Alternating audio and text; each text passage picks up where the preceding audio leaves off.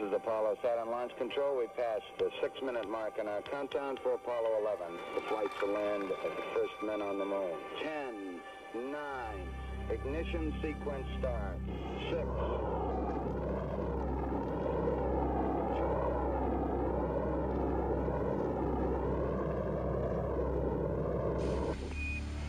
Apollo 11, 20 years ago, the three-man crew of Apollo 11 drifted over four days in space, navigating by the stars to get to the moon.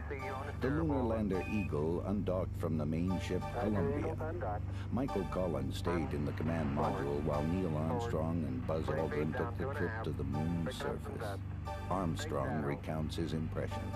I think perhaps the final descent to the lunar surface was, uh, for me, the, the, highlight of the flight. It was very challenging. Uh, there were a lot of unknowns. Um, and uh, it, it, was, uh, for a pilot, it, it was uh, a wonderful experience.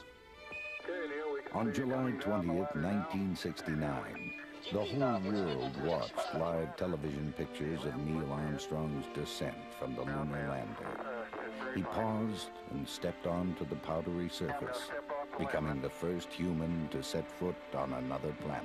It's one small step for man, one giant leap for mankind.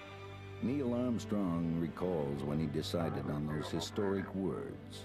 Well, actually, I didn't worry about it till after landing because uh, I guess in my own view we didn't have uh, that good a chance of completing a successful landing.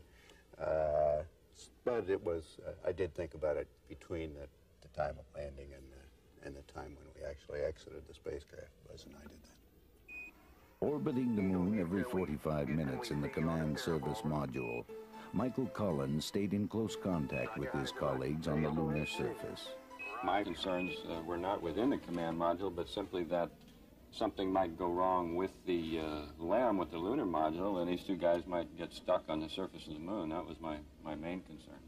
Zero, zero, zero. During the two and a half hours they spent on the moon's surface, the Armstrong Aldrin team managed to collect 45 pounds of moon rock and soil samples, set up two experiments, and raise an American flag.